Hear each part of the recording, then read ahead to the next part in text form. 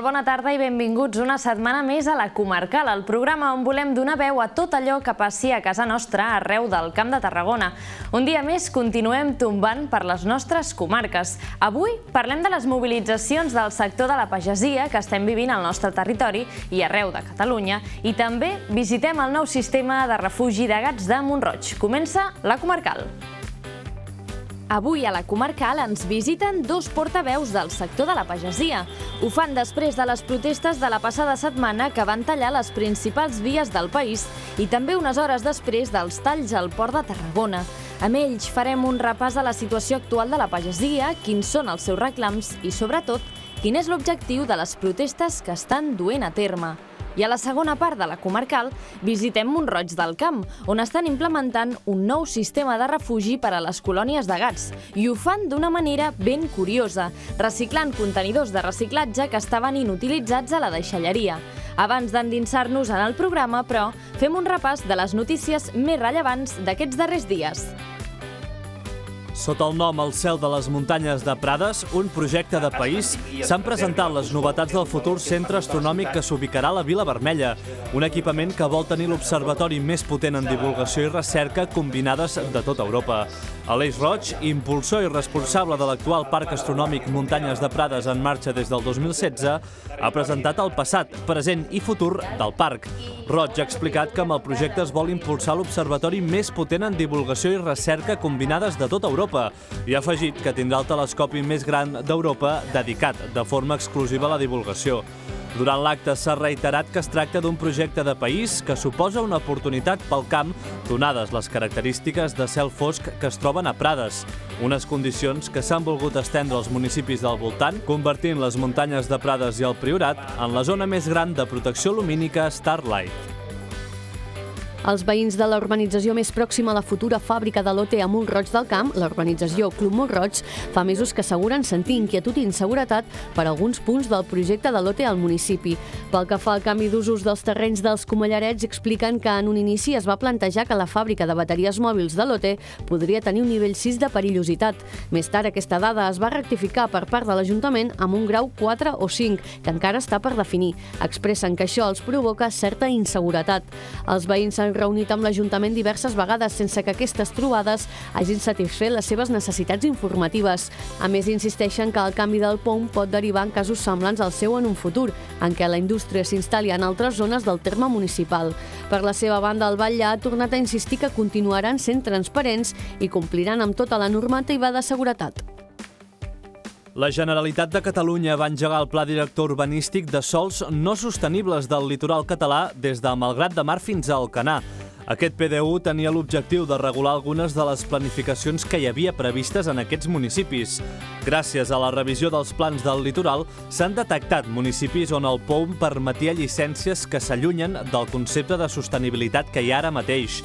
Per exemple, l'accés de construcció d'habitatge d'ús turístic o amb massa llicències per a cases unifamiliars independents. És per això que amb aquesta revisió s'obligarà als ajuntaments a qualificar aquests terrenys com a no urbanitzables o a modificar l'ús que se n'havia de fer si no són sostenibles. En el cas de Cambrils, la revisió va establir que alguns terrenys havien de ser suspesos de llicències, però gràcies al treball del consistori s'ha pogut aconseguir que cap sector quedi sense ús i, per tant, abandonat. Des de govern apunten és gràcies a l'objectiu que tenen com a municipi i, sobretot, per la seva activitat turística i familiar. El 112 és una combinació de números que tothom té en ment quan hi ha una emergència. La ciutadania hi truca quan necessita algun servei d'urgència, però un cop aquesta trucada entra a la centraleta, passa per un procediment per tal de ser atesa. Primerament són els gestors de la sala d'emergències qui fan un seguit de preguntes a l'usuari per tal de classificar l'urgència i es deriva tota la informació al cos operatiu que requereixi cada tipus de situació, ja sigui policia, serveis mèdics, bombers i protecció civil. A més a més, el servei garanteix sempre l'atenció de les trucades en català, castellà, francès i alemany i també disposa d'un servei de traducció extern que dona suport a més de 50 idiomes. I és que el 112 no només és conegut pels catalans, es tracta d'una combinació de números generalitzada dels serveis d'emergències d'arreu d'Europa. En aquest sentit, el servei d'emergències a nivell català va rebre gairebé 2.320.000 trucades l'any passat, la majoria per sol·licitar serveis de seguretat i assistència sanitària respectivament. Tot plegat suposa un augment d'un 4% més de trucades al 112 que l'any anterior.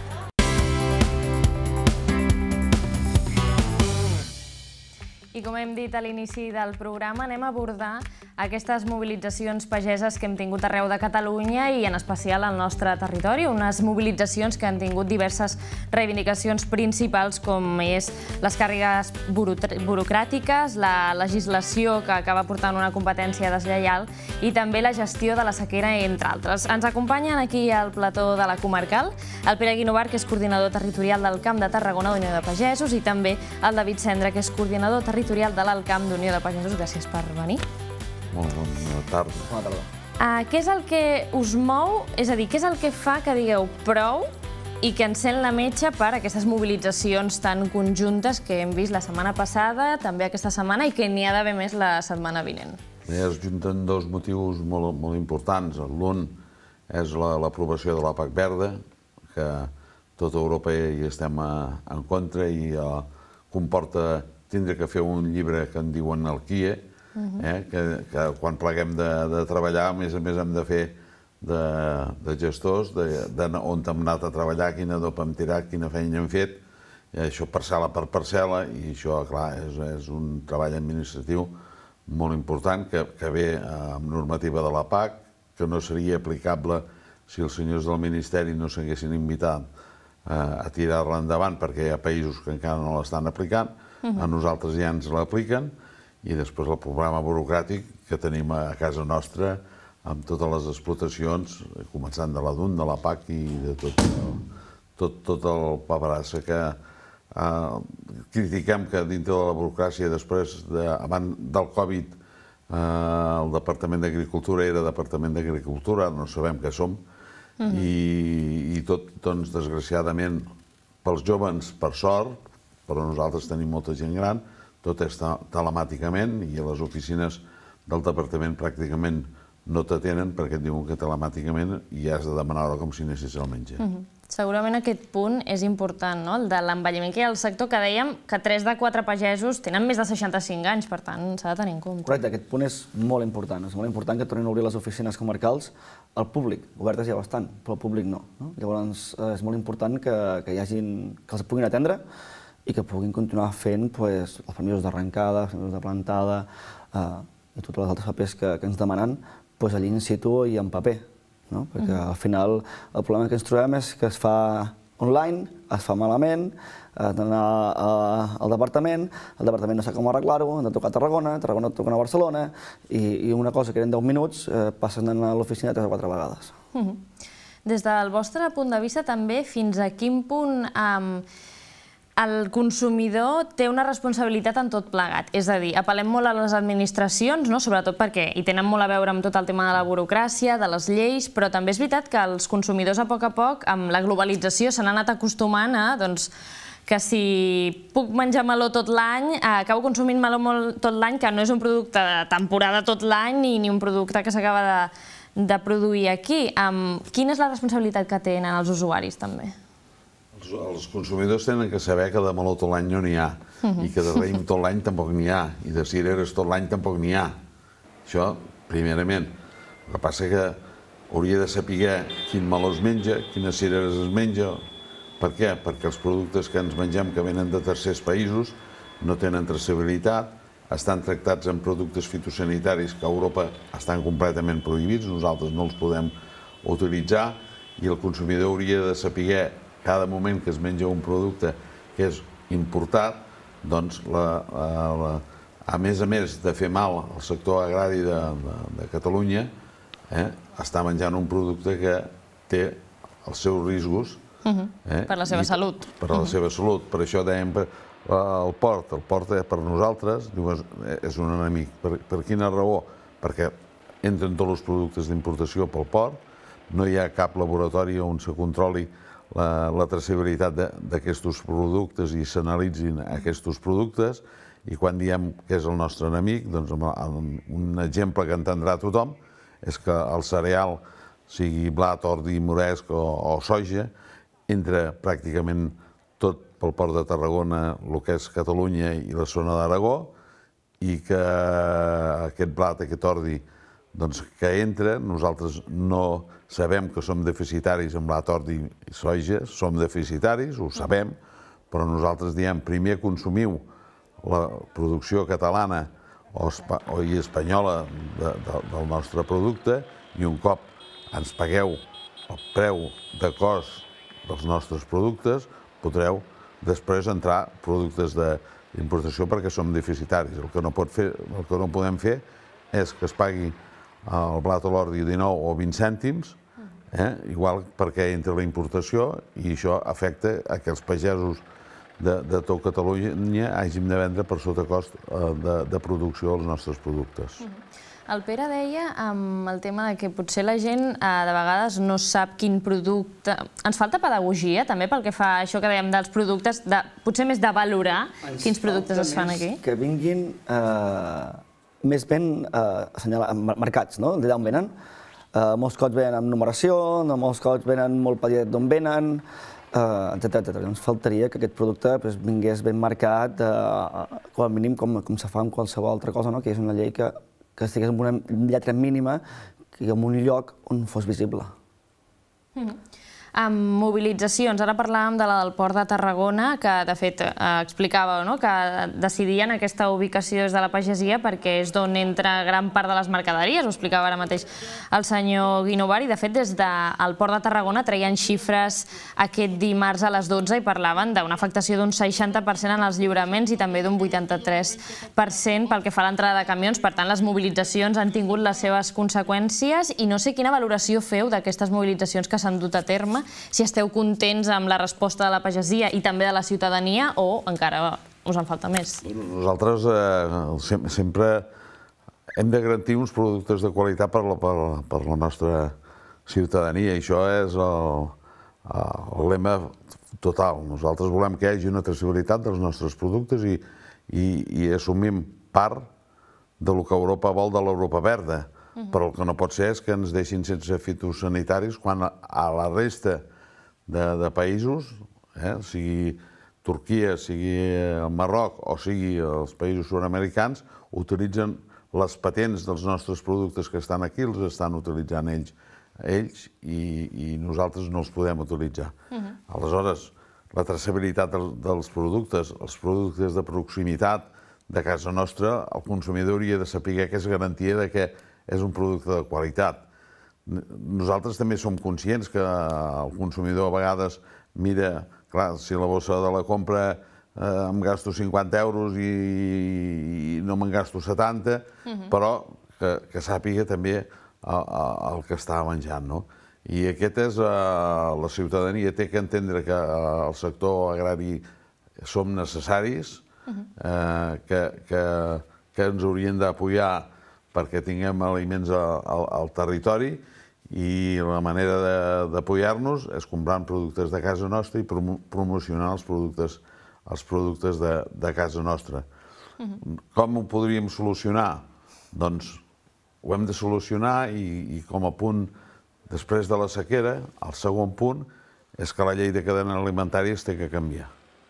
La llei de la cadena alimentària que es va aprovar i que els governs no van ser lo suficientment forts contra eh, les grans superfícies que són els grans enemics després del port, uh -huh. perquè qui entren els productes són gent de les grans superfícies, són gent de la indústria agroalimentària, eh? doncs si hi hagués una llei eh, de garantia alimentària, com ja està aprovada però que no serveix, a on es té que garantir que no, puguin, no es puguin comprar productes per sota el preu de cost, ens garantiria una, una renta que els pagesos a vegades ens donen una subvenció i no, no, nosaltres el que volem és vendre els nostres productes al preu perquè, que ens costa produir i si, si aquests productes els podem vendre al preu que ens costa produir, que estiguin tranquils. Nosaltres no en volem viure de subvencions. Nosaltres el que volem viure és del nostre treball, que ens agrada,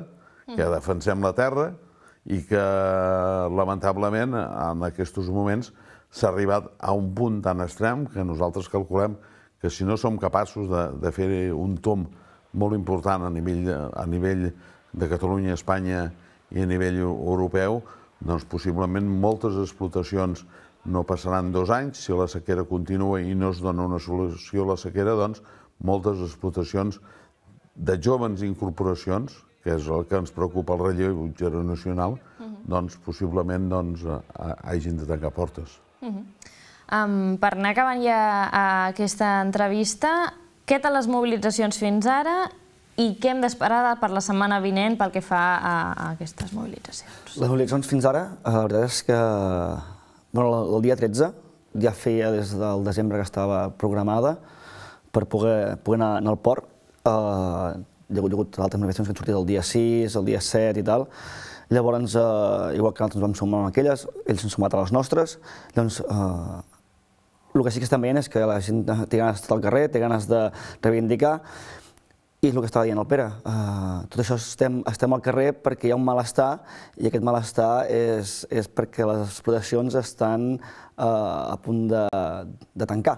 Llavors, uh, com que aquestes explotacions estan a punt de tancar, clar, uh, a l'agricultura tenim, tenim un punt més no, que una altra feina, que és que moltes explotacions són, bueno, és el patrimoni familiar, ve de, de, de diverses generacions, o sigui que no és només uh, una feina. I llavors, doncs, clar, aquest malestar, a part de, de poder perdre la feina, no, és perdre doncs, una, una, una forma de, de- d'estar en un territori, etc etc. No? Llavors, per això hi ha aquest malestar i, i hi havia tanta gent al carrer com feia molts anys que no s'havia vist.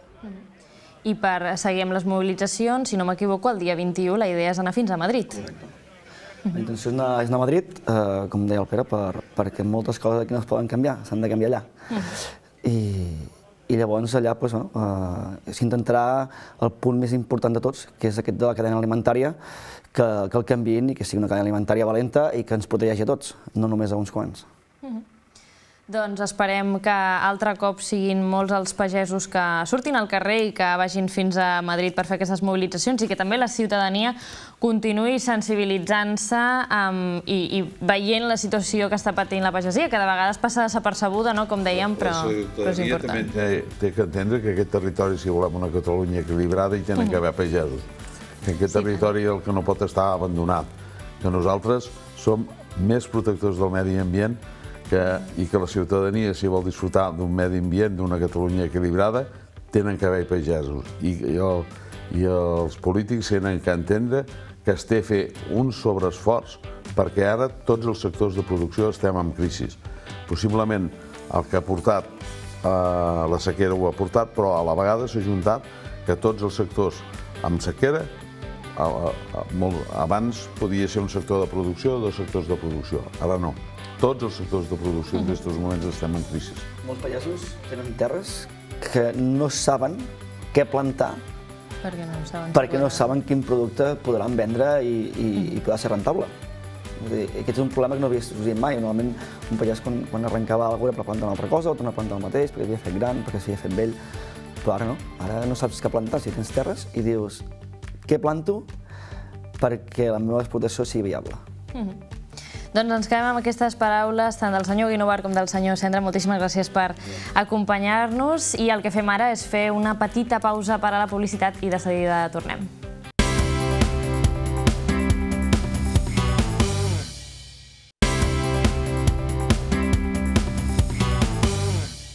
Ja tornem a ser aquí i canviem de tema perquè Montroig del Camp s'ha adaptat a la nova normativa de benestar animal d'una forma ben peculiar. Ho ha fet reutilitzant contenidors de la deixalleria en desús. A descobrir-ho hi ha anat la Paula Jansà. Anem a veure-ho. Hola! Avui hem vingut fins a Montroig del Camp perquè amb la nova llei de benestar animal que s'ha aprovat des del govern, ara els ajuntaments s'han de fer càrrec de les colònies de gats. En el cas de Montroig ho han fet d'una forma molt divertida i és que han adaptat aquests contenidors i els han reutilitzat perquè puguin viure a aquestes colònies. M'acompanyeu a conèixer com funciona tot plegat? Parlem sobre aquesta iniciativa amb l'Elvira, aquella regidora d'Entorn Natural. Molt bona tarda. Molt bona tarda. Explica'ns com sorgeix aquesta iniciativa. Bueno, ja va sortir fa temps, val? i vam pensar que seria una manera de reutilitzar aquests contenidors i que també pogués servir perquè els, els gats pues, que estiguessin més ubicats en un lloc i més concentrats en un lloc i que poguessin estar també al resguardo també de, de les condicions meteorològiques. No? Llavors vam decidir pues, eh, in, contractar amb una empresa, una empresa, una protectora, perquè ells poguessin també fer-nos aquell treball d'adequar-los. Mhm. Perquè ara mateix, no sé si teniu el control de quants gats, quantes colònies hi ha al municipi. Sí, en el seu moment, en el 2021, ja es va fer per un veterinari un cens, hi havia aproximadament uns 2.000 gats, val?